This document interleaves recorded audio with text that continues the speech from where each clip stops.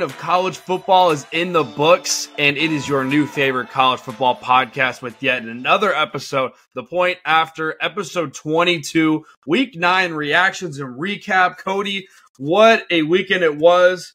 It wasn't the best weekend. It wasn't the worst weekend, but we got a lot of little quick hits and stuff to talk about during this episode here. But Cody, as always, it's Monday. We got to react. We got to recap. How are you doing on this fine Monday? Man, uh, a lot of upsets, couple field stormings uh, over the weekend. Um, I got destroyed in the picks, so uh, Jackson Groff is now back in the game.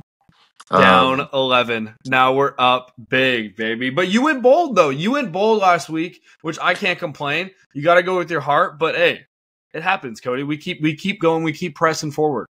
Yeah, those damn rivalry games. they got me. Um, so, yeah, yeah. Sorry. No, just excited. Just a, another great weekend of college football. Excited to break it down, man. We are almost done with October, which means the games they remember are playing in, in November. We've got the CFP rankings coming out on Tuesday, um, Tuesday night, and we're going to come out with a reaction video and have that up on Wednesday morning. So be tuned, be tuned to watch that. We usually start out with the AP poll, but we're no longer focused on the AP poll anymore, Cody. We're now focused on the CFP polls from here on out. But Today, we're going to break down one game today. Then we're going to go through the good, the bad, the ugly, some quick hits of college football's week nine. But the game of the week, let's start out, Cody. Oregon at Utah. Eight Oregon wins 35 to 6 at 13. Utah college game day was there. What a barn burner. A lot to break down, a lot to look at here, Cody. But what was your biggest takeaway, your biggest standout when you saw Oregon's dominance against Utah yesterday? To me, Oregon and Bo Nix looked so sharp. It was almost like they were completely unbothered by the fact that they were at altitude, on the road, a big home winning streak against arguably one of the better defenses in the country. Bo Nix looked comfortable. Another virtuoso performance on the road against a tough conference, a tough ranked conference opponent. Man, uh, Bucky Irving was able to get his feet in the paint a few times. Um, everything that we said that Oregon looked good doing against Washington, they looked just as good, if not better, um, on the offensive side. And then on the defensive side, I mean, six points um, to a team like Utah, who just put up 34 against USC uh, the week before. Wow. A virtuoso performance by Oregon. Probably their best performance of the year so far. It's insane too how in college football, and I'm going to kind of relate this to us. You know, obviously we had parents and stuff, and usually when when parents have kids, and they raise them, usually those kids have certain characteristics or certain habits of their parents. That's how they like, kind of were born and raised of. Like for example, I say certain things with my dad, or sometimes people are like, "Oh, Cody, like you, what you said there reminds me of your mom and stuff." It's kind of like what Dan Lanning is in terms of Kirby Smart and what he learned there and turn this Oregon team. Like this Oregon team is kind of looking like that Georgia when they've got grit or when their backs against the wall, they, they don't turn down. They've got c- complete competitive stamina was was my biggest takeaway, and there was no lack of letdown. Whether it was a it was a field goal late, they were back at it. You saw, I mean, Cody, this team looks like I don't want to say the Georgia teams or like the old Bama teams of the 2010s, but the there's no room for error on this team. The complacency they have is unreal. But it's crazy to think how like you know Lincoln Riley when he was around Mike Leach, has certain tendencies of him. Now you're starting to see Dan Lanning with what he learned from Kirby Smart paying Absolutely. intuition here in year two at Oregon. Yeah, you know, I think you called it. I mean, they're able to run the football. Their quarterback is efficient. Stetson Bennett, love you, arguably the GOAT. Uh, yeah. that's neither here nor there. But no, their quarterback is hyper efficient. He doesn't turn the ball over. He's a senior. They run the football effectively. They have a suffocating defense. I mean, it sounds similar to what Georgia has put on the field the last two years. Um, hmm. And right now, personally, if you put Oregon and Georgia on the field right now, who wins? That's know. one of the biggest things too with Oregon is they're never too focused on the other opponent. They're never, you know, late penalties, unsportsmanlike. They're super disciplined. I think they only had two penalties last game, and their only focus is on themselves. And what I love most, this was probably the biggest standout where I said, okay, Bo Nix, this this is a guy that could that could take this team to a CFP. They're up 35 to 6, and he's screaming at his running back because he ran the wrong route on a check down. And they're up 35 to 6. 35 to 6, and he's so he's so like wants everything to be so per- perfect and up to the standards of this Oregon team because he knows down the road when they play some of those teams, so some of those harder teams like you know Washington again, or if they got to play, uh, they got to play USC still, so they got to play USC. Which say what you want Next about week, USC, it's. Caleb Williams. Any day Caleb Williams is on the field, you got to ball out, you got to prepare, and you got to you know capitalize on situations. But what Bo Nix did yesterday, what kind of stood out to you from Bo Nix' standpoint? Uh, in this game, in, in a hostile environment, Utah, they don't lose at home, but yesterday or on Saturday they did. Yeah, you know, I think the biggest thing for me is just his leadership under pressure in a hostile environment. We've seen it now at UW and now at Oregon, arguably the two toughest places to play in the Pac 12, minus or obviously Autzen Stadium. That's his own home stadium. Um, but yeah, that was like what we what we're seeing with Bo Nix right now is a senior quarterback who's seen a lot of tough environments, who now is motivated by the fact that they lost a close game that they probably should have and could have won at Washington. And like you're literally seeing, similar to what you just said, the last few years, Alabama will lose a game during the regular season and then they just boat race people to the national championship. I'd argue Mm. that right now, Oregon looks better than Washington. No disrespect to Washington. I, I'd You're- agree. I'd agree. You're a you're a good football team, but what Oregon is doing against quality opponents since they lost to you, I like if I'm Washington, I'd be very nervous right now.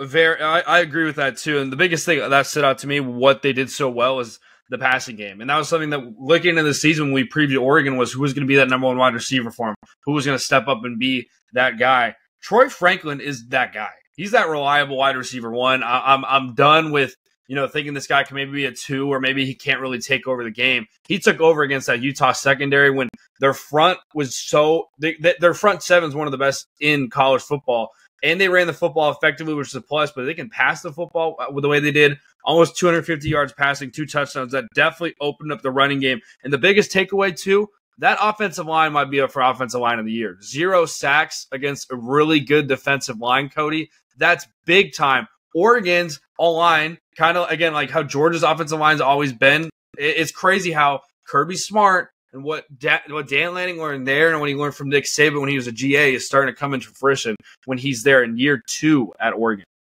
Yeah, definitely. You know, when you can build from the trenches and allow those skill positions to kind of build around them, you're gonna have success. I mean, you look at like Georgia, their front, like you said, their front seven the last couple of years has been all time great.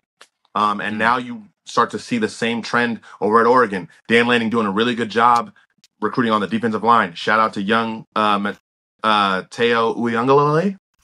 Mm. Isn't that DJ's little brother? Yeah. Um, so it's good to see him. Like he's getting in the rotation. He's playing five star. And so they're, like you said, building from the trenches up. And now Oregon is reaping the benefits from it. All right, Cody. Let's transition to the Utah side of things and what happened wrong for them. Uh, Thirty-five to six. We we said in the preview episode that their offense had to score thirty points to be in this game, and that wasn't the case. Field goals aren't going to win when you play a quality opponent like Oregon. That was my biggest standout there for them. Um, when when you have a good drive, you got to execute with touchdowns, and part of that plays to the execution of it. Part of that plays to how aggressive you were, and they were on that one fourth and one. They didn't get it, unfortunately, with Kyle Whittingham there, but. Um, that was my biggest takeaway with them is their lack of execution there. And it was one of those games like how Washington beat Oregon. They scored 30 points or more. You can't you can't you can't beat Oregon if you're not scoring 30 points and rely on your defense that much. Their defense was on the field for so long there, Cody. I just thought Utah's defense got tired. Um, and then my second one, the running game was non-existent. I mean, you you got 99 yards rushing, 37 yards with Jackson. Va- Vaki didn't get anything on the running game as well. They didn't really use him in the wide receiver room too, which was kind of surprising what happened last week. But I'm going to take it to you. What stood out to hear from Utah and their loss, and then after that, give us a little breakdown on Bryson Barnes. Yeah, you know, I think ultimately, I think Oregon did a really, really good job not only switching up how they had their coverages in, in the secondary, but also the, the twists, the stunts. We went 3 3 stack. They went 3 4. They went 4 3. They went 4 2 5. They were mixing up all their fronts and their coverages, which slowed Bryson Barnes down, and he wasn't able to play fast and be aggressive, pushing the ball down the field to his wide receivers. Also, with Oregon's secondary being so athletic, long, and aggressive, they were able to disrupt uh, Utah's wide receivers. Utah doesn't really have a big time number one guy. No disrespect to Money Parks, you're just small. Like he's more of a slot, kind of a quick guy. So anytime big physical DBs are able to get their hands on you and disrupt your timing and your routes, we said Bryson Barnes needed to play perfect. Unfortunately, he wasn't able to do that. Um, Oregon is kind of that like boa constrictor, right? If they're able to stop you on first and second down running the football, they're starting to condense you down. Now I need to throw it on third and long. Now they're able to throw intricate pressures and coverages at an inexperienced quarterback. And it almost was the mirror image of why Utah lost on the road at Oregon State. Oregon State did the exact same thing to Bryson Barnes and Nate Johnson in that game, and it showed. And I think Oregon probably took that blueprint and had better athletes, more speed, and a better offense to really stretch that lead late in that football game against Utah. And when you look at it too, Utah no sacks on the defensive side of the ball. Uh, some of those could have been sacks, but again, Bo Nix's quick ability to make quick decisions and kind of take the pressure sh- straight on, make some accurate throws. There was the biggest takeaway for me in his game. You want to talk about a guy that was absolutely awful at Auburn, goes to Oregon, says, "Hey, I'm going to stay more year instead of you know with that NIL money, two million dollars. Now it's paying off for him. Now he could be a first round, second round pick when you look at you know the Vikings or the Packers, those later picks for the NFL draft there, but." They're executing on all levels, pivotal turnovers. And one thing I love about Oregon is they always capitalize on their turnovers with points. That's what makes great teams. That's what separates great teams from good teams is being able to capitalize um, and and award your defense for playing so well with the fumbles or with the the interception that they had too. That was the biggest takeaway for me. And also, their tight end Ferguson is starting to emerge too. So now you got Ferguson in the middle. You've got Troy Franklin, Gary Bryant on the out, Bryant on the outside, then you've got Jordan, their backup running back, Jordan James, and then you got Bucky Irving. A lot more weapons than I thought there was here at Oregon, Cody.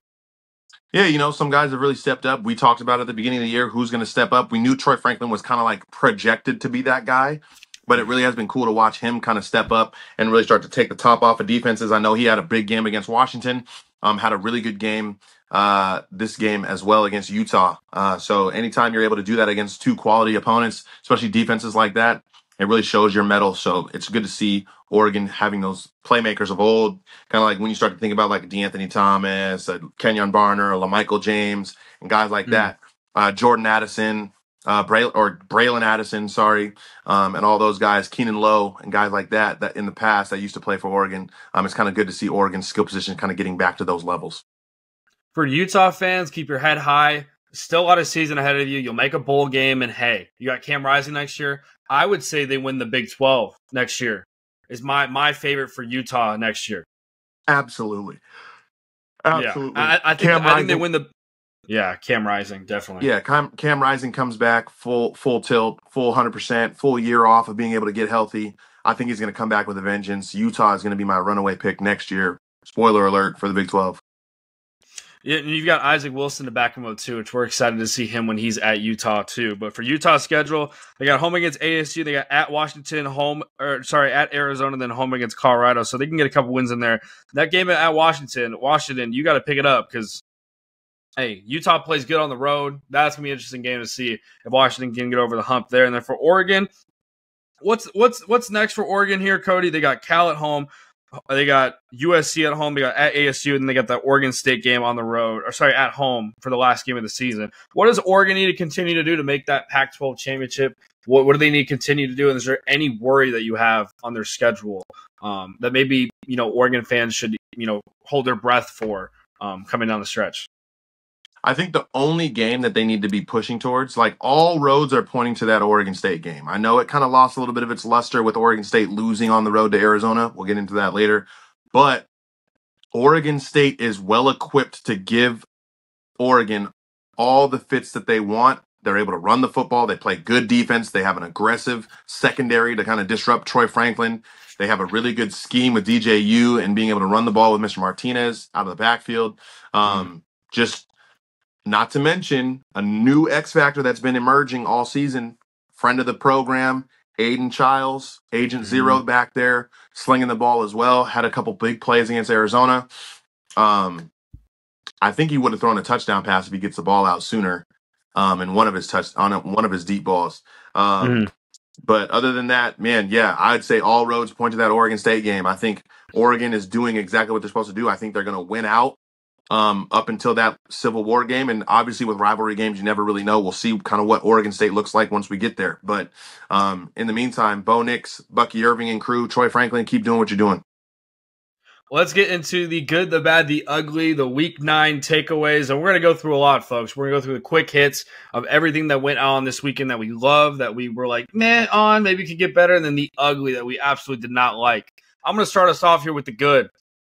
And this quarterback, you know, was put in a situation where it was very tough for him with, with the national championships and with, with all the hype of Stetson Bennett this guy is dealing. This guy is nice. Carson Beck deserves more attention. I even think maybe to be a Heisman finalist, what he's doing there with all the pressure to go into a hostile environment, rivalry game against Florida. Florida scores first without your best target in Brock Bowers.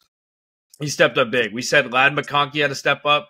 Welcome back to the party, Ladd McConkey. We said we said uh, Daijun Edwards help help your quarterback out with the running game. He helped out two touchdowns, 96 yards for Mr. Edwards. But Cody, you could kind of elaborate on on Carson Beck, but I think he looks patient. I think he's starting to work through his project, project progression, excuse me, and he's really developing. And I think that's what a guy, an example of a guy that could have transferred, you know, one year or even after his redshirt year and could have went somewhere else and probably started and maybe tried to develop this somewhere else. But he believed in the program, believed what Kirby Smart was preaching, and loved Georgia. I love those guys that stay in the program and that are competing every day against the best. You know, he's going against scout team against some of the best defensive players that are in the NFL right now. So that also prepares you for what he's doing right now. But this is a guy that looks comfortable in, crit- in critical situations on fourth down, third down, red zone. Um, when his team needed most, I thought he prevailed. This is a guy that needs more attention, Cody. And when it's all said and done, if you need a Heisman guy, Heisman finalist, I, I, I would not argue he'd be a Heisman finalist. Now, I don't think he he's going to win the Heisman, but if, if you look at, you know, Penix, you look at uh, JJ McCarthy, you know, the Jayden Daniels, Carson Beck could be in there. He'd be that fourth or fifth guy that gets an invite. But your thoughts on what I just said there, and then your thoughts about Carson Beck in this Georgia offense. Yeah, no, he's not getting an invite to New York. But okay, okay, okay, okay, okay. We can disagree. We can no, we can agree to disagree. Carson Beck, I love you. I love what you've been able to do this year. I wasn't a believer at the beginning of the year. I genuinely wasn't sure if you were going to be able to do it. Now, what was was was I guilty of Stetson Bennett love? A hundred percent. Hmm. But at the same time, you've stepped up in moments that your team has needed you. Like Jackson, you already alluded to, he stepped up in big moments. He's made big throws. He didn't have his top target. I think it was almost perfect timing for Ladd McConkey to get back when Brock, like back to 100% as Brock Bowers is leaving. Um, mm. But like you said, uh, Carson Beck has been able to step up and deliver. I think they've done a really, really good job um, leaving running backs into chip, leaving tight ends into chip, just to make mm. sure that he has a little bit more time in that pocket to feel comfortable and really dice these defenses up. The receivers are doing a good job winning on the outside, and Carson Beck is delivering, man. He's standing and firing, man. It's good to see. Um, shout out to Carson Beck of Georgia. Yeah, this Georgia team's looking back to what we thought they were going to be. They're the number one team in the country for a reason. And when, when it's all said and done, we'll talk about the CFP later. They got to be the number one team. Yes, their schedule is not as str- strong as some other ones, not as strong as the resumes, but the respect factor, the two two time national champ back to back, you got to put Georgia on top. Um, and they made Florida look stupid. Now Billy Napier is on the chopping block once again. Graham Mertz, oh man, I mean, I, I, don't know what we saw from him. He, he started out strong, um, and he struggled down the stretch, and that's all credit to that Georgia defense. But the Georgia offensive line, the defensive line, continuing to step up there. Um, any last thoughts you got from Georgia, Florida, and then we'll move on to your first good. Uh, no, sir. The uh, what do they call it? The Death Star continues to march on. Georgia the keeps bad guys. Yeah, yeah exactly. Yeah. Your first good from Week Nine. My first good from Week Nine. I gotta say it. Kansas, you guys looked really, really good at home. I know there was a couple mistakes by Jason Bean, threw a pick late in that game. That was tough, but you guys kept fighting. Shout out to the Kansas crowd. You guys were awesome. Um, made it tough on Oklahoma. Shout out to the Kansas defense. Guys, Kansas DBs are so underrated. It is unreal. Mm. Cobee Bryant, I think you're probably going to be excuse me, Witherspoon, the guy, the first round draft pick from the Seahawks. I think Cobee Bryant could be the next Mr. Witherspoon. Don't shoot the messenger. No, no none that- of you guys, none of you guys knew who Mr. Witherspoon was last year. The Seahawks drafted him in the, with the fourth pick or whatever, and he's been balling ever since. So I don't want to mm. hear nothing. None of you guys knew who he was. I mean, some of you really people who are tapped in probably did, but other than you guys, you guys didn't know who he was. I had my doubts. He's been showing up and showing out. I think Cobee Bryant could be the next guy in line to take that mantle this year um, in the draft, should he come out. Um, Jason Bean, you stepped up when your team needed you. Big fourth down conversion on that game winning drive. Um, and that Kansas defense stood tall. Shout out to the fans in Lawrence. Kansas Jayhawks, big biggest win in school history, I think.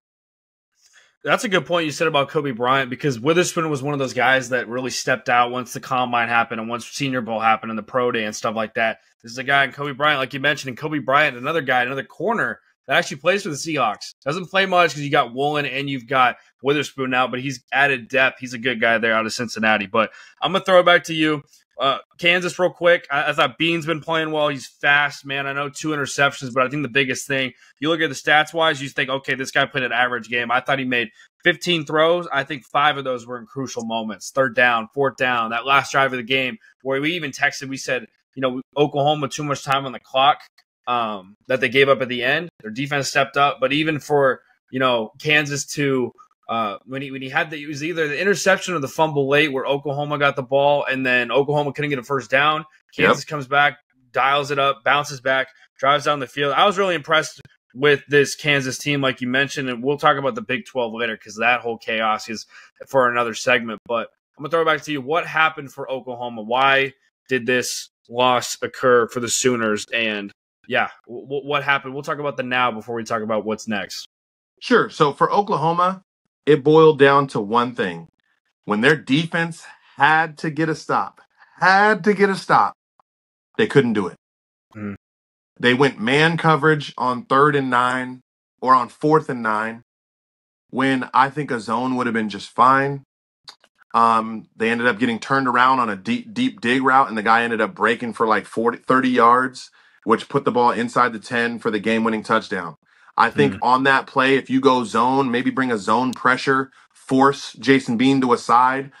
Um, all eyes would be on the quarterback in zone pressure, so that would negate him being able to run for a first down. That's just what I would have done. But Brent Venables is the man for a reason. You ride with the guy who brought you there. You just hate mm. to see them lose with their defense on the field like that to me. But mm. ultimately, like I said, hats off to Kansas more than downer on Oklahoma. Great win, great team win, great atmosphere there in Lawrence. 11 penalties for 101 yards is not going to win you ball games either. That's pretty undisciplined from Oklahoma, something that we're not used to seeing. But I thought the biggest thing, too, they both had three turnovers, but Oklahoma's turnovers were way more pivotal that set up points for Kansas. I mean, the one on the kickoff return right after Kansas just scored, or, you know, the fumble in the red zone, I believe it was by the running back or by Dillon Gabriel in the red zone that really bit a really good drive that they couldn't get any points on to give Kansas the ball back were the two things for me. But any concern from you? Dillon Gabriel threw a pick six. I know it was early in the game. I know I saw that Dillon pick saw that pick six there, and I said, "Whoa, whoa, whoa, Dillon! This looks like old Dillon Gabriel." Any concern moving forward, and what does Oklahoma need to do in now a very tight must-win situation every single week to even squeeze in the Big 12 championship because right now Kansas got a game on them and they're both tied with one loss. Five, six teams all tied. Yeah, I would say uh, Oklahoma, just keep doing what you're doing on the offensive side of the ball. I think Dillon Gabriel bounced back really, really well from that pick six that he threw. Um, obviously, leading his team back, taking the lead, um, opportunity to win at the end of the game. Um, but I'll just say this: you can't. Um, Jimmy Dykes says it the best in college basketball. You can't throw pick sixes. Like if you want to win games, you can't throw pick sixes. When he's what he's referring to in college basketball is when you turn the ball over live for layups. So when you give essentially mm. a defense a layup by throwing a pick six, not only does that give them confidence, it wakes the crowd up, gets the crowd into the game, erases a lot of doubt, gives everyone a lot of confidence to play against the obvious favorite in the game, which is Oklahoma. So now Kansas believes and they're able to play with the lead, which allows them to be a little bit more aggressive. If he can avoid those turnovers moving forward, I think Oklahoma will be just fine. Stay tuned for the ep- end of the episode. We're going to talk about Big 12 scenarios and what's going on because week 10, a very pivotal week for the Big 12. Half of those teams are going to get narrowed down. We're going to get from six to three teams when it's all said and done on who's going to go to the Big 12 championship. Speaking of the Big 12, my next good. Yeah. I got to give credit to Texas and Maalik Murphy, and here's why. Ooh. Great football teams know how to step up and win when their best player is down. I think when other when other teammates know, okay, we got a redshirt freshman guy and he's probably going to be nervous. A good BYU team, a good BYU team, five and two now, five and three, with the veteran quarterback and Kedon Slovis and, and their coach, which I forget his name, is very veteran as well. He knows how to dial up defenses to make a freshman quarterback uncomfortable. And I thought that great teams, when when their big players are down, new roles, new guys step up. Everyone's role needs to step up more. And I thought Xavier Worthy was one example. Punt return touchdown, big. Maybe you're going to get a special teams touchdown. That helps your quarterback even more. Brooks on the running game. I thought their defense holding BYU, which two turnovers there. I believe he had he had um he had an interception. He had a fumble early in the game. Yep, very yep. bad interception, very bad fumble, which you expect from a redshirt freshman. But what does this defense do? Holds BYU to field goals. Whenever you can hold an away team to field goals and you're at home, that's a big win. Especially a team like BYU that can score on the offensive side of the ball. I thought that was big. And lastly, after those after those turnovers, Murphy bounced back big. Two touchdown passes, found AD Mitchell found Ja'Tavion Sanders, who's one of the best tight ends. Obviously, Brock Bowers, but he, he's starting to get some recognition as well. But Absolutely. this is the guy in Murphy. I, I, again, the future's bright for him. We'll see what Quinn Ewers does if he comes back next year. But I think regardless of what happens, I think he transfers just because of Arch Manning and what's going on there with Texas. I think he'd be smart. This was kind of his transfer portal audition tape, if you if you will. These next couple games, I, I think he transfers out of there. But Cody, what I was impressed with is just Texas's ability when their court when the quarterback was down in, in a big game at BYU. I understand the spread was big and stuff, but have big players step up in exceeded roles when when Murphy needed them most. I thought that was big for Texas, and they got Kansas State, which is a tough game. But I like what I'm seeing from Texas. You mentioned how Oregon's the best team in the Pac-12 over Washington. I would argue. I think Texas. Now, obviously, you know the game last week, Kansas lost. You could you could say that's an easy thing to say, but I think Texas looks like the best team right now in the Big 12 ever since that wake up call against Oklahoma. Just your thoughts uh, on Texas? Yeah, absolutely. Texas has the best roster, the biggest fan base, uh, like the depth needed. I think Texas is just fine. Really, not only in the Big 12, but also for their college football playoff uh, implications. I mean, at the end of the day, like. I said it at the beginning of the season, Texas has the best roster in the Big 12, and they should win it. But I just don't think they will. And part of that is because they're not used to winning. And right now, when their big time dude is down, like the fact that Quinn Ewers is out going into Kansas State, I, I if I'm Texas, I'm terrified. No disrespect to Texas, you should win that game. You have the better roster, you have the better players across the board. But Kansas State always plays tough. They run the football. They're hard nosed. They're physical. They're going to smack you in the mouth. How are you going to respond? And how is, more specifically, Maalik Murphy going to respond to getting hit in the mouth?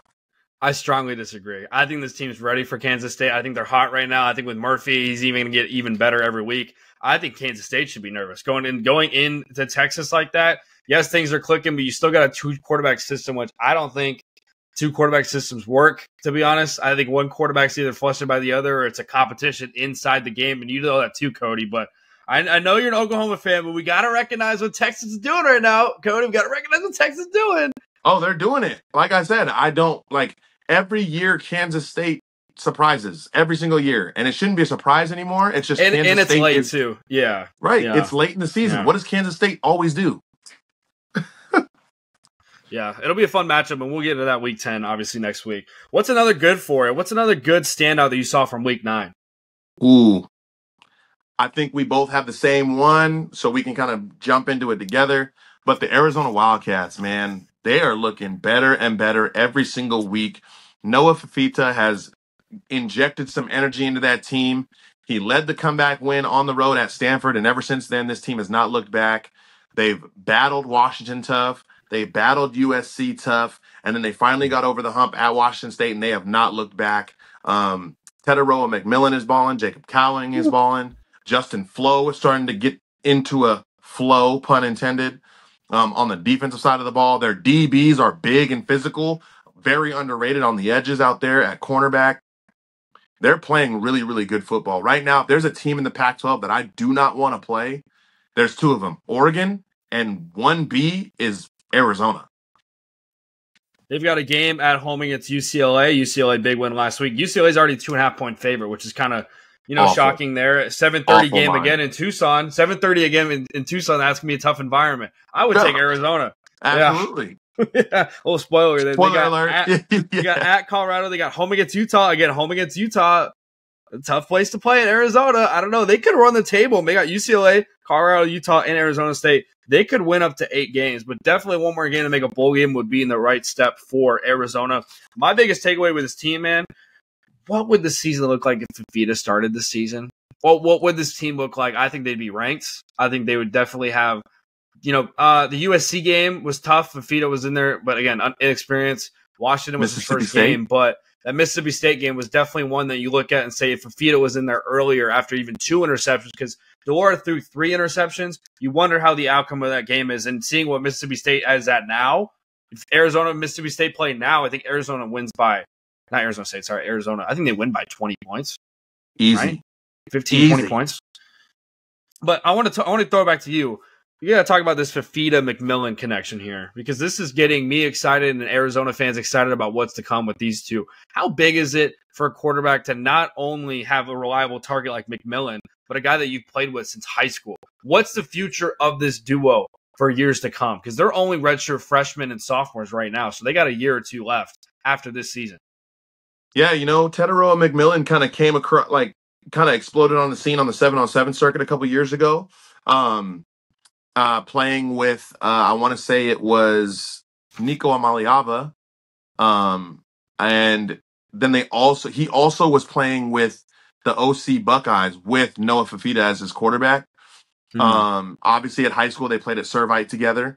Um, and it's just been it, anytime you have that chemistry and that connection, like I, we actually talked about it last week on our preview episode, just on how like having a guy that you can just hit up. They're probably either roommates or close to roommates. He probably shoots him a text, "Hey man, let's go to the field and throw," even when they're not Hmm. supposed to. Let's go to the field and throw. Hey, you want to come over and just throw? Hey, you want to come over and hang out? And the cool thing too, and what makes them even more dangerous, is you can start to see he's really starting to develop that same type of chemistry with Jacob Cowing, another top level wide receiver. So now you have Tetairoa McMillan on one side, Jacob Cowing on the other. Sometimes they're on the same side. Not to mention that two headed monster at running back as well.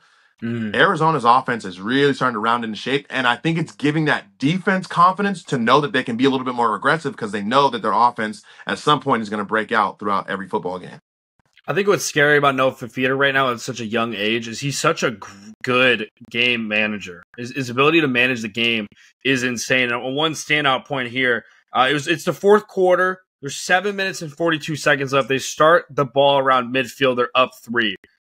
I mean, Fifita would go down, get a touchdown to get up 10 with two minutes and 24 seconds left. So you had about five minutes of time to get off the clock when you're up three to kind of stall, maybe get your defense a little breather, get drive down the field, crucial third downs, crucial fourth downs. That was a moment for me, Cody. I looked at this Fifita guy and I'm like, this is a guy that's a game manager. For a game manager like him to do that, um, waste the clock, take his defense off the field and, and take what the defense gave him. And not only score, but to score with points, that touchdown. That was basically the nail in the coffin. That was the dagger in this one for Arizona. The explosive weapons they have, the playmakers they have, the, the the depth, especially the young depth that they have too, is something to definitely look out for for Arizona. But on the other side of it, that defense, 87 yards for Martinez is big time. Those are some quick takeaways I have there. But uh, your thoughts on Fifita being a game manager and then what you saw from this defense too, because Martinez is, is one of the best running backs in, in college football. When he can take over a game, he'll take over. But 87 yards for a guy that averages, I think, like 150 a game, big time. Absolutely. Um, one thing I'll say about Fifita as a game manager, at the end of the day, quarterbacks are supposed to manage football games and take the opportunities when they present themselves. I hate that moniker that some of these guys get when they they're not putting up the Michael Penix numbers or the Caleb Williams numbers. That doesn't make hmm. you a game manager. That makes you a smart quarterback. At the end of the day, if you have a running game that's doing what it's been doing the last couple weeks, ride that thing. And then when your opportunities present themselves in play action and maybe on first down taking shots, you hit them. And that's what Noah Fifita is doing. Shout out to hmm. Noah Fifita. You are starting to step up and really dominate. And then one last good here, Cody. I gotta Cody, I gotta shout him out. Louisville is back. They're looking better than ever. Jawhar Jordan, it was questionable whether he was going to play in this game uh, with an injury. Did not look like he was injured at all. This dude was explosive, and I will always love and his touchdown he had when the offensive line comes up from behind, one of the best plays in all football, pushes the pile, pushes Jawhar Jordan into the end zone. Love when the offensive line gets involved there. Um, no, and this team's got speed, and that was one thing that I was questionable of seeing was – how is Duke's defense against Louisville's speed? Could they slow them down? And this Louisville team is is fast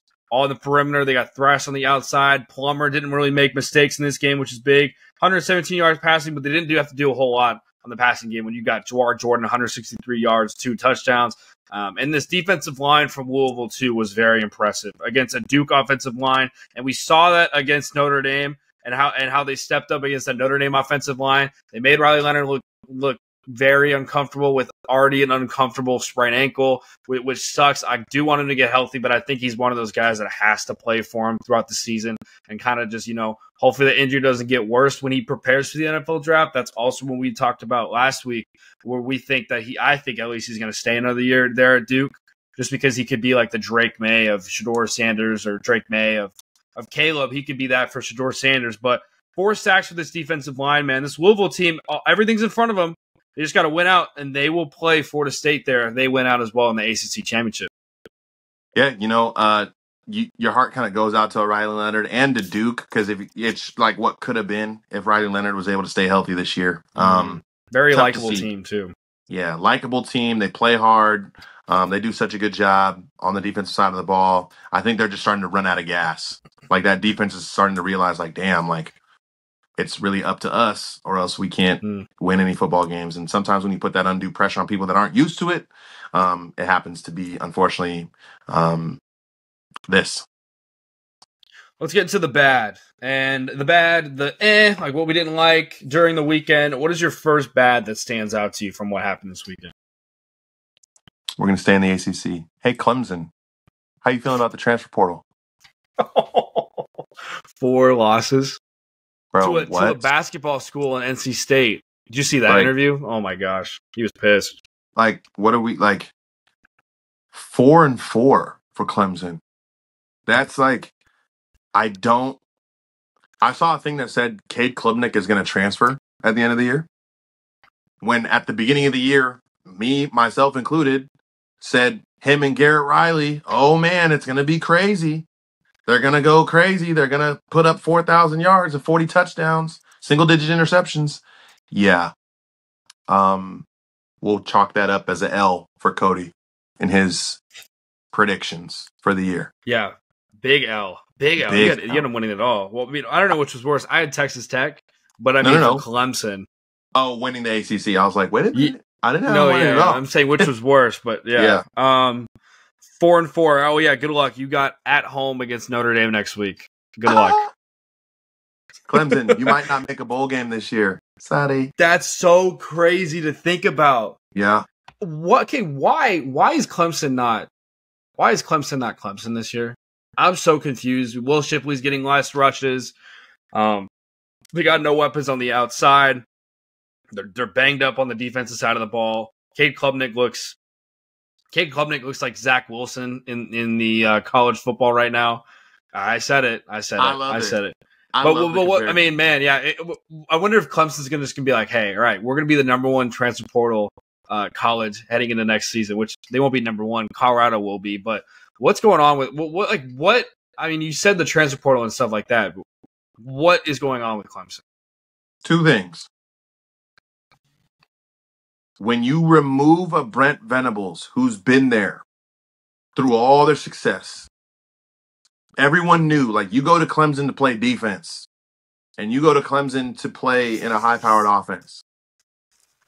When you take away that linchpin, which is a Brent Venables who plays with fire and energy and all this stuff, it has a direct influence not only on your recruiting, but also the energy within your program for the players that have been there and known no different. That is a real thing. I don't care what anyone says. Coaches can affect players at that level in a myriad of ways. One being the energy that they play with and the passion that they play with. We're mm. still talking about 18 to 23 and 24 year olds. Easily distracted, girls, alcohol, clubbing, parties, NIL deals. There's interviews. There's so many things that can happen in college. We both understand it and know it. We've been through it. Now imagine being at a Clemson where you have access to all these other things that us lower level athletes didn't have access to. And you're supposed to go to school. And you're supposed to get good grades. And you're supposed to be at training table. And you're supposed to be at practice. And you're supposed to be watching film. Coaches can create or at least sometimes manufacture a level of passion and give a fuck that some coaches can't. And when you see guys that look like they're quitting and look like they're not giving the effort, I genuinely think that that directly stems from who your coordinator and assistant coaches are. And when you don't have a Brent Venables who was that take charge, rah rah, high energy guy that has those guys playing fast and playing with that love and that passion, it has the effect that you're seeing right now at Clemson. I think that's something too that Garrett Riley next year will probably more be. He needs to be that vocal guy, a little more of a quiet, you know, behind the scenes. Doesn't really yell much on the sidelines. Um, he's up in the booth, I think, with with his with the phone on or whatever, talking to Cade Klubnik all the time. But I agree with you. I think they need that someone on that staff to step up. Dabo Swinney is too. He can yell, but he's more of that players coach guy. They need that intense dude, like you mentioned with Brent Venables there. Um, Clemson bad. They might not make a bowl game, which is crazy to think about, like you mentioned there. Um, I think their over under total for wins was like eight and a half or nine and a half, which is crazy to think about where we are today, four and four. Could be four and five next week. My bad. Um, and this one's kind of both teams. This game really wasn't really the, the best, but Colorado UCLA was just a bad game. I don't know if you watched that. You, you turn it on, you're like, oh my god, Chris Fowler and Kirk Herbstreit are, are announcing this game. Okay, usually Yeah. usually those games turn out to be good outcomes or a neck and neck battle or maybe Colorado upsets UCLA when they're when they're both announcing. But I mean, just the first half, uh, doinked a 24 yard field goal by UCLA. Lots of points left on the board. Only field goals from Colorado. Two fumbles from Carson Steele and an interception there for UCLA. They had four turnovers total. And Colorado, I mean, you had two interceptions from Travis Hunter. You've got everything in front of you. You can't, like we mentioned before with Utah, when you're on the road against UCLA, a team that's got more athletes and just straight up bigger in the trenches, you've got to capitalize with touchdowns. And they did late, but seven sacks for UCLA. And Coach Prime even said after the game, he said, "Hey, when we hit the portal, offensive line is going to be number one." Which I agree. This offensive line looks way worse than this defense. The defense only allowed, which I say only allowed, 28 points. Which at any other game we've seen from Colorado, if you only allow 28 points and your offense can score, usually you win those ball games. But man, Colorado UCLA just. I mean, props to UCLA for winning, but just a bad football game. Your, your standouts, your takeaways from that one. You can't win when your quarterback is getting beat to shit the way Shedeur Sanders was getting beat up. You can't win when there seems to be a lack of love of the game like it seems like Colorado's team has. You cannot win a football game when it seems like there are guys that are checked out and not caring about football, not caring about the university, not caring about social media or apparel sales or what celebrities are going to be on the sideline, just the game. Like there Mhm. seems to be like a lack of energy on the sidelines. Like to me, when you get an interception on defense, that whole sideline should be coming running on the field, chest bumping, high fiving, getting excited. Travis Hunter had to like on his own sideline gets two picks and has to run to the sideline to get some love. That's wild to me. You know me. A lot of people know me as like an energy, high energy guy. Like I like I couldn't imagine watching one of my top players make one of those game changing type of plays and standing on the sideline with my arms crossed. I couldn't imagine doing that. And I'm watching it happen over and over and over again for this Colorado team. And it's almost like, well, yeah, he's supposed to do that. Cool. Like that doesn't mean that you don't get excited for it. Yeah. So it's just it's weird. It's a weird dynamic right now going on in Colorado, and I hope Coach Prime Prime can get it fixed. I love that take too, because especially in a road environment like that, when the sidelines got energy, when the road teams got energy, and you're the home team, and the home crowd's quiet, that's scary. That is absolutely scary. And in the second interception, the first interception was great from Travis Hunter, but that second interception when he baited Garbers, thinking that he was going to go with the outside route, flips his hip, flips his hips quickly, turns around, attacks the football. Uh, uh, unreal. He's guarding two wide receivers within like five yards, five to ten yards of ground. He made up there.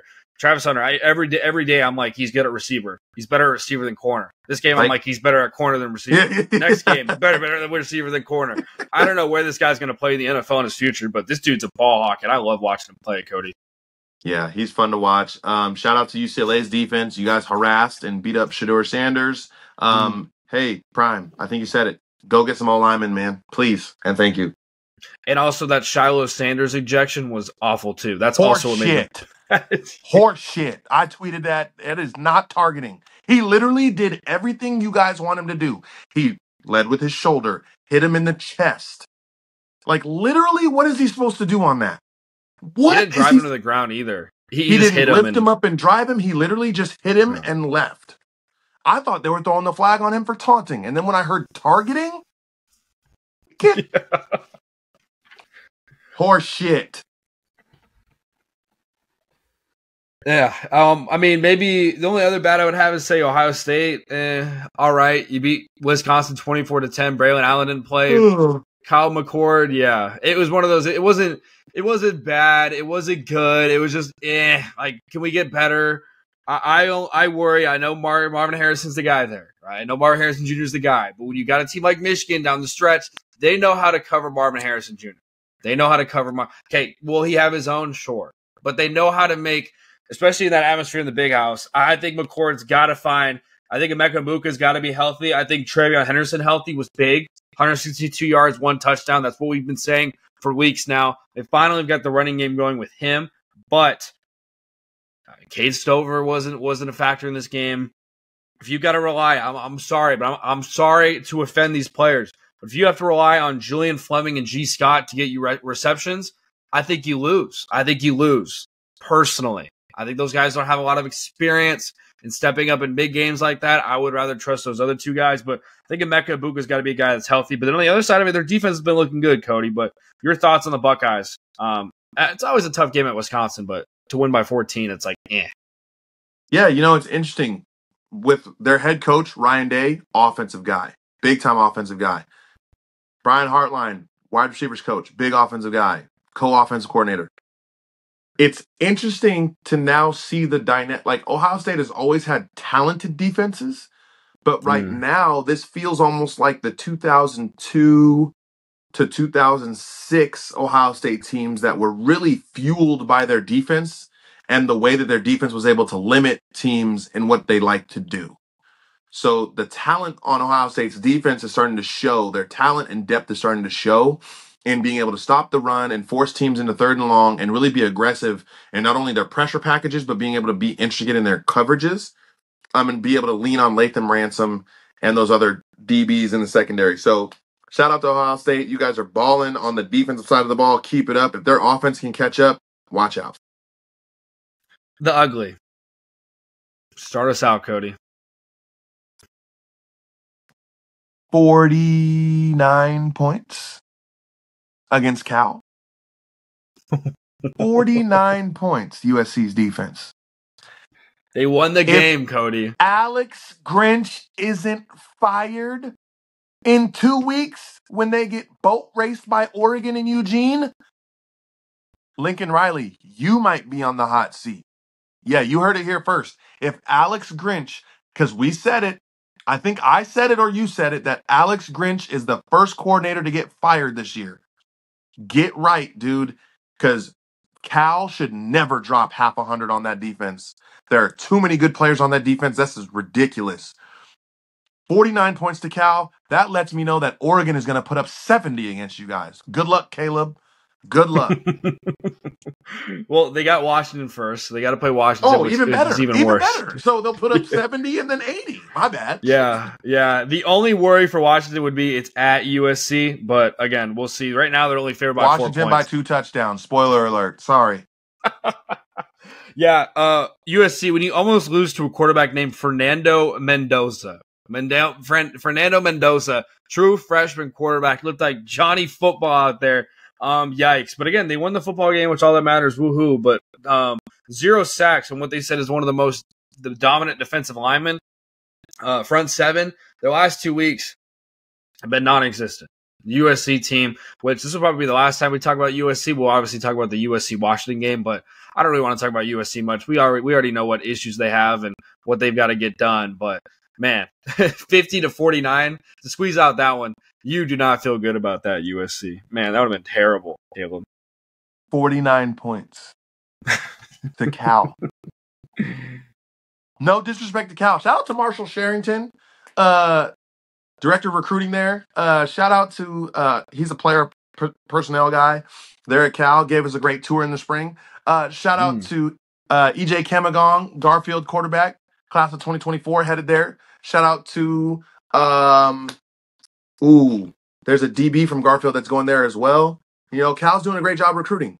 Thank God, because man, God, 40, 49 points. like, I, like okay, okay, okay. Let's move on. Let's move on. Let's move on. The ugly. Um, next ugly. Um, and we hate to say this because just a couple weeks ago we said this team was going to be a college football playoff contender, and uh, somebody in here had them at, at the um, winning the ACC and in their playoff. But North Carolina loses to Georgia Tech, forty-six to forty-two. Tez Walker injured in this one. 17 to 25, 310 yards, two touchdowns. You look at you look at the stats and you say, "Hey, Drake, man, you know, uh, you guys played well offensively. Why? How did you guys lose the game? You ran the ball 267 yards. You threw the ball for 310 yards. How did you lose the game? Oh, that's right, Georgia Tech. Yeah, they scored 46 points and uh, they rushed for 348 yards. Yeah, that'll that'll that'll do everything for you, man. 348 yards to Georgia Tech, Cody. Um, hey, North Carolina, remember a couple weeks ago when I said, oh, finally, like Drake Maye doesn't have to win every football game for North Carolina. Their defense is playing good. That wasn't a cue for you guys to shit the bed like you have the last two weeks. It literally has been like North Carolina heard us tell them that they were good on defense. And it was like, oh, bet. Our bad. Let's get back to what we were doing last year. Giving Yeah. up 60 whatever to App State. Like, oh my goodness. Like, What a what a crazy two weeks after we put the midseason awards for Mr. Cody. literally, like, what are we doing? Like, you guys are making me look like an idiot. Oh my goodness! Oh, I think that's only the, the last ugly. I will we'll, we'll we'll stop talking about UNC and USC, the two the two teams that were great two weeks ago. The ugliest performances of Week Nine. Some quick hits, real quick, as we move on before we get to the top five quarterbacks for Cody. Some shout outs. Northwestern's fourth win on the road at Maryland. I believe actually it might have been at home against Maryland, but they've won four games this season. They won 30, 33 to 27. I'm shocked. We thought they were going to win one or two games with everything going on in the offseason. They go past the scandal and they've won four games. Your thoughts, Cody? Two games away from bowl eligibility. If they get there, watch out. Coach of the year? Coach of the year?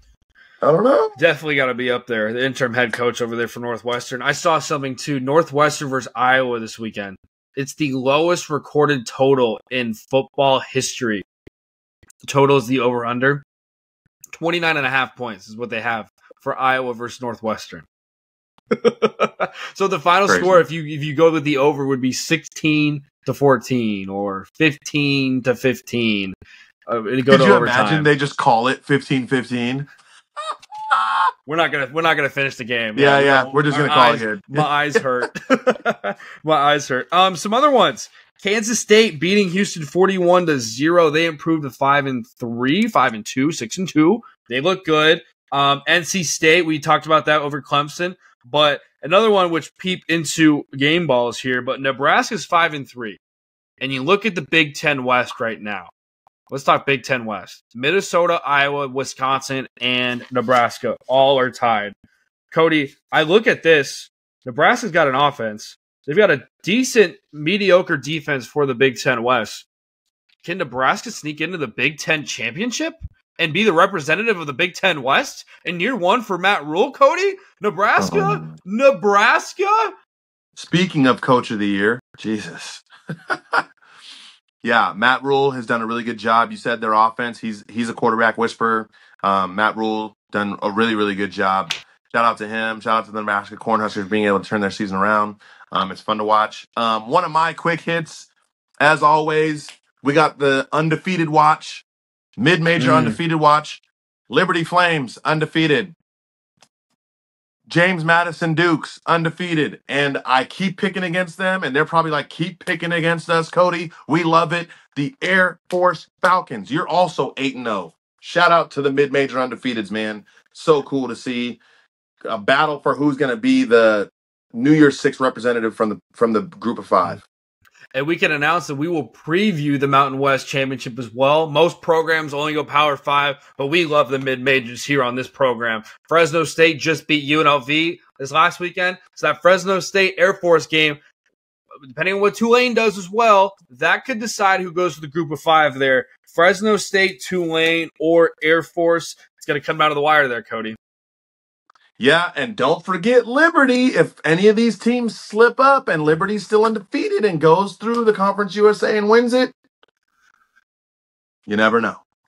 I wish James Madison was bowl eligible because they would be Oh, my favorite. dude. And they would be my pick to be the group of five. I'd love to see James Madison. Absolutely. I think they're physically capable of doing it. I think that the NCAA needs to get rid of that rule. If we're in a division, if, if we're D1, let us play. Let us play, mm. baby. Let the boys play. Let the kids play. My last two quick hits for you, Cody.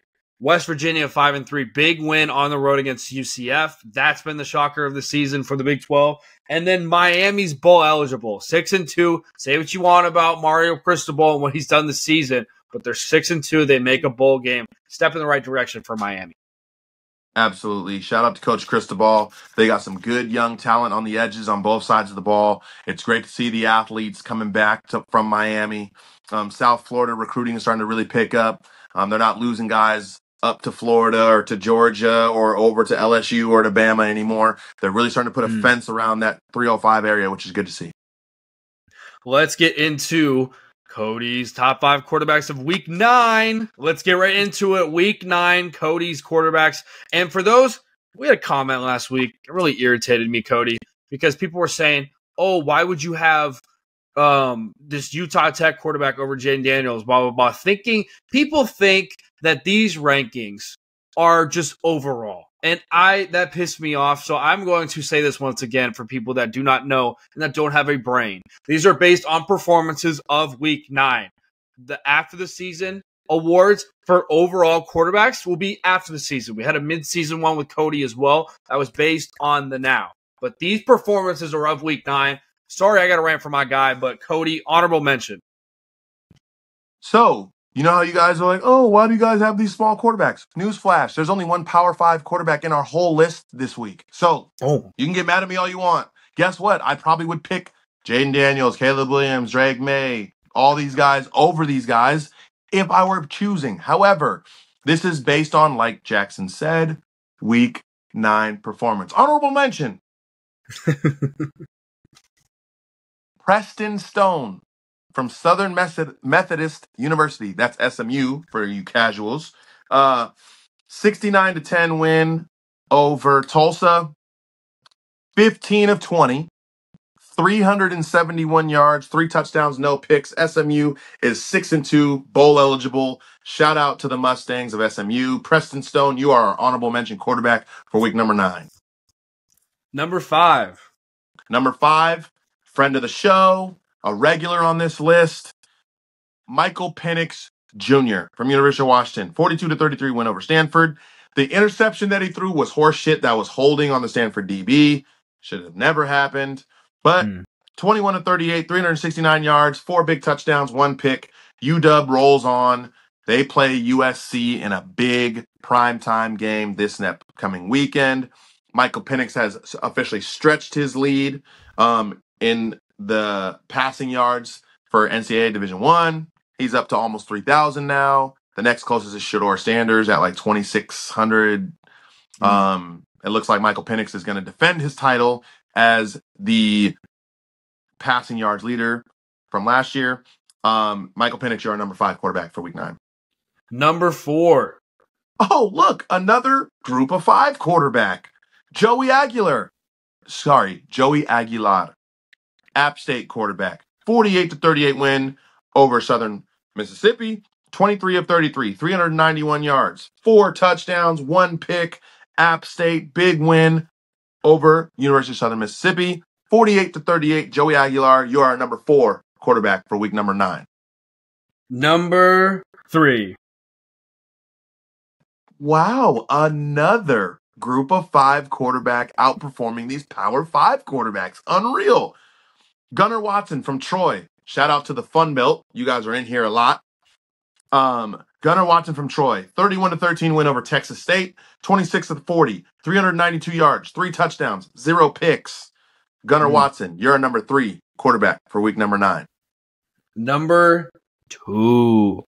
Number two, a Conference USA quarterback, another group of five quarterback, Frank Harris from University of Texas San Antonio, 41 to 27 win over Eastern Carolina, 20 of 32, 395 yards, four touchdowns, only one interception. Frank Harris from UTSA, another big win in Conference USA. You are our number two quarterback for week number nine. And who's at number one? at number one with 32 of 49, 411 yards, five touchdowns, zero picks. Chandler Rogers from University of North Texas. They actually lost to Memphis, and people are like, oh my gosh, you picked someone at number one who lost. I've done it in the past. I'm going to do it again in the future. Chandler Rogers from University of North Texas. Like I said, 32 of 49, 411 yards, five touchdowns, zero picks. It's about performance, folks. He doesn't play defense. Chandler Rogers, you are our number one quarterback for week number nine. Love the list there. Do your research, folks, because we here at the point after, especially Cody Oakes, does the research too. Well done. Good list. Uh, let's get into buy or sell game balls. We'll put a wrap on week nine. For me, for my buy, I am buying that the Oregon Ducks will represent the Pac 12 and make the college football playoff. I think they're Mhm. the best team in college football right now in terms of the Pac 12. I know you're a Washington guy, Cody, but we got to be realistic when it's all said and done until we see a dominant performance. And at USC is one of those games for Penix that you can say whatever you want to say about the defense from USC. I want to see Washington back to what we saw Washington against Oregon, but for right now, this Oregon team, may foot on the pedal, foot on the pedestal, on the gas, and we are not looking back. They're focused, so focused on themselves. I love the effort. I love the energy. What Dan Lanning's doing, coaching the defensive side of the ball. Their offensive play calling is getting better. I like what Oregon's doing right now. I think Oregon wins the Pac 12. They represent the college football playoff. And hey, this Oregon team's for real, folks. It's time to it's time to put the attention on Oregon. Bye. Love it. That's a, I hate it. It's a good pick. I got to buy. I'm going to buy that Bo Nix will be a Heisman Trophy finalist. I have to. Mm. The way he's mm. playing in these high profile games that are supposed to be close, the reason they're not close is because of him. And the way he's able to affect every game, not only with his legs, but with his arm, his efficiency. He's not turning the ball over. He's throwing touchdowns. He's picking his spots. He's feeding his guys when they need to get fed. He's checking at the line of scrimmage. He's holding his guys to a standard, which is something mm. to be said. His guys are responding to him. Right now, like you said, Oregon looks like the class of not only the Pac 12, but in college football. Um, no disrespect to Michigan. I think you guys are really, really good too. Um, but yeah, I got to say, I'm buying Bo Nix as a viable Heisman Trophy contender. And if Michael Penix Jr. keeps kind of having these mid mid level games, don't be surprised if you see Bo Nix be able to sneak that away from him, especially with another head to head game looming with Washington on championship weekend, which could be the deciding factor in the Heisman Trophy race. Mmm. Bo Nix. Bodacious. I like that. I love that. Um, my sell, and this one's tough for me. I got a lot of sells. I'm trying to narrow it down to just uno. I'm gonna sell. and This is tough for me to say because I want this team to, you know, find a conference, but I'm selling Washington State hard. What is going on? You lose to Arizona State, when you've got more talent on the offensive side of the ball. Your quarterback, you threw it 50 times. Can't get the running game going against a very depleted ASU football team. Come on. Dykarts or whatever his name is, Den Kurtz over there for the coach at Wazoo. You said that you belong to be in a conference, and you guys have lost, what was it, four straight? They got to flip it around there if they even want to make a bowl game. Well, I thought this Wazoo team was way better. I am selling Washington State. Get it together. You're on a losing streak right now. And um, I don't know who they play next. And I'm going to look at it while you say your, yours, Cody. But this Washington State team, they need to get things rolling. They play at home against Stanford next week. Uh, Stanford, again, I don't know. They're they're tough out. They're tough out right now, as we've seen the past couple weeks against Colorado and then Washington. But I am selling Wazoo. Great sell. I have to sell, and I know that this is gonna like hurt, but I have to sell Oh, Oklahoma okay. winning the Big Twelve championship. I have to. I think they the had to like that Kansas game. They kind of it's one of those like confidence booster games if you win it, and then one of those like confidence killers or just like gut punches when you lose it, especially the way they did. Um, I think I like I really hope it doesn't turn into too long, especially with Bedlam this weekend, um, and the way that Oklahoma State is able to run the football. I'm nervous, man. I'm nervous. I really like there couldn't be a worse opponent to play right now than Oklahoma State after what Kansas just did. So On the road. Um, oh, yeah, on the road. in Stillwater, um, I got to sell Oklahoma as the Big 12 champ. Dude, my heart hurts for you, bro. Hearing you say that, it, it, a couple weeks ago when I came on this program and I said Notre Dame, I saw Notre Dame as a CFP contender. It, it hurts, doesn't it hurt? But It now you does. can now you can now you can look past our our Homer teams. You know, we're Yeah. not very Homer much on this program, but now you can look past it. I mean, I Notre Dame, shout out Notre Dame. They beat Pittsburgh pretty bad this last Oh weekend. They'll make a. New Year's Six game, but yeah, dude, that would- that would hurt my heart there, Cody. Oh, Yeah, that one. It was. It's hard to admit, but it is what it is. We're growing. We're growing. Oh man. Hey, we'll see what happens on. I do want to see a rematch though with Oklahoma Texas. That'd be fun to watch. But Mm. I don't know the way Texas is playing right now and the debacle, the chaos in the Big Twelve. We will talk about that in just a bit. Game ball. We'll wrap this one up. I've got one game ball, and this is a big pivotal moment on the road rivalry game. My game ball goes out to Carson Beck. This dude balling. This dude, I'm still gonna say it. I'm still gonna say this guy deserves to be a Heisman finalist because I think he does. 19 to 28, 315 yards passing, two touchdowns. I love what I'm seeing from Carson Beck and this Kirby Smart led Georgia team. Making me look good. Keep them in the playoff. Let's run the table, Georgia, and then beat LSU or Alabama or Ole Miss, whoever represents on the other side. But Carson Beck, shout out to you. Keep balling. Biggest forehead in college football, might I add. Biggest forehead in college football. absolutely, That's probably why he's that's probably why he's balling. Big brain, big forehead, Carson Beck. absolutely. I have two game balls. I'm going to give them out quickly. Jordan Nubin from Minnesota, running back, 40 carries, guys, 40 carries, 204 hmm. yards, two touchdowns, big win over Michigan State. Keep Minnesota in the hunt for that Big Ten West championship. And Ollie Gordon from Oklahoma State. 25 carries, 271 yards, two touchdowns, and their big win for Oklahoma State over Cincinnati. Last two games, Ollie Gordon. Listen to these numbers. In two games, Mm. 54 carries for 553 yards and six touchdowns. Ollie Gordon, you are on a ridiculous tear right now. Please don't do that to my Oklahoma Sooners this weekend.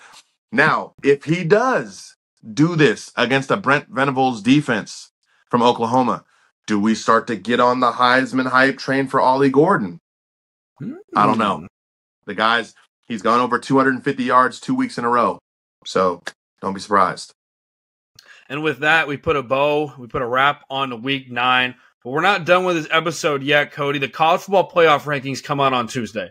And we're going to talk a little bit of what we think the CFP is going to be like, what are our top six as of right now, and maybe some sneaker teams, sneaky teams. Now, when the playoffs have been around, no team outside of the initial top 10 has made the CFP. So that's something to keep out there, which I didn't know that until I heard that the other day and I was shocked. I was like, wow, okay, only so there's this is going to narrow down the top 10 teams in college football right now um, when it's all said and done. But Cody, I think for my for me, if you don't mind me starting, if you don't mind me starting, Feel free. I think this is I think this is how it's going to be. I don't agree with this, but I think this is how the rankings are going to be. One Georgia. I think it's tough. I think it's tough for them to get rid of Georgia at one of what they've done in the past week schedule. You could say that, but Carson Beck's balling out. I think they're comfortable there with the committee on Georgia too. I think based on the resume, they've got the strongest resume right now. I think Ohio State's too. great. I think Ohio State's too. Maybe we can kind of collab on this together. I think we might have the same, but you would you you would say one and two, Georgia and then Ohio State, even though we think Michigan's better. But Sure. the- what the committee's going to do? What I think the committee's going to do is because based on resumes and teams being undefeated, this is what I think they're going to do. I think they're going to go Ohio State one. I think they're going to go Florida State number two. Really, you think that you think Florida State too? The LSU win, big. That's big. The Duke win, big. Um, who else did they beat? They beat Clemson early. Early, was, yeah. was considered better. Um, I think just the resume of that. L- I think the fact that LSU keeps winning is really big for Florida State. So I think Ohio State's going to go one. Their resume, like you said, is just better than everyone's. Penn State, uh, Notre Dame.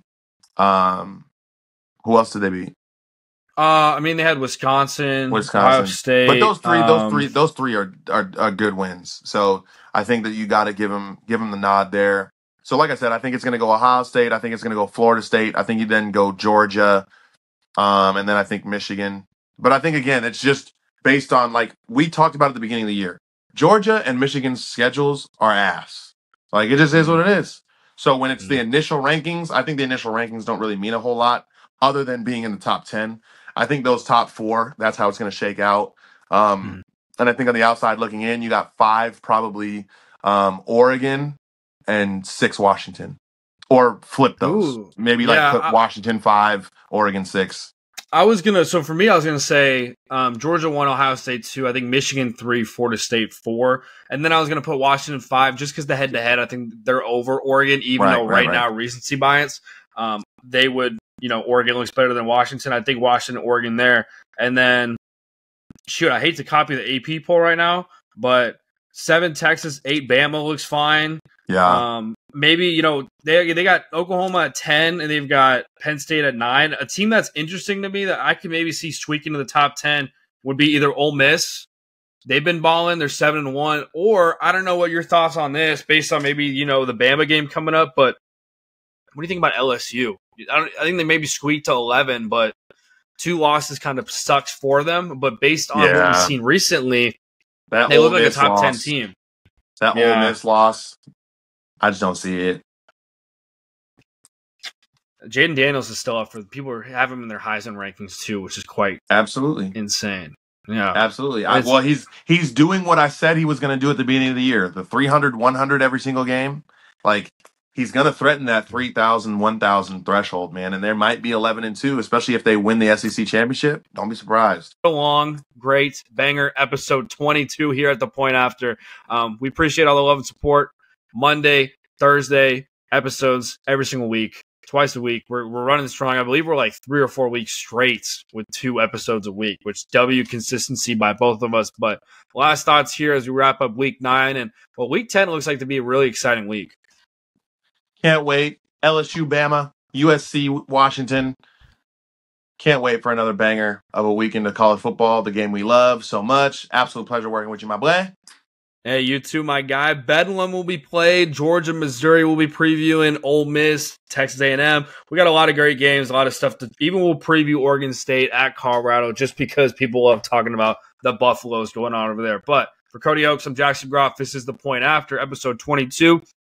We'll see you on Thursday for another banger episode here at the point after. Peace.